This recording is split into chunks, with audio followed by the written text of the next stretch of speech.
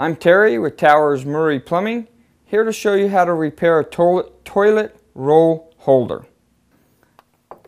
Okay, now to repair your toilet paper or toilet roll holder, uh, different things that can happen. They, they get loose. Um, the roller itself is spring loaded. Sometimes you lose the spring. Now this piece here, there's really not a repair for it. Typically you just run down and replace that.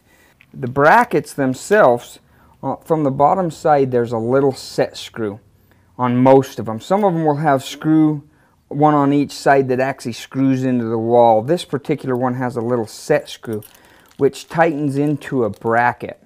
Now if the bracket itself has come loose, sometimes you tighten up the screws. You may have to replace the molly or anchors. Uh, to remove that, loosen the screw, pull this off, check your bracket, uh, sometimes it's just a matter of tightening this piece itself, tightening the little set screw up.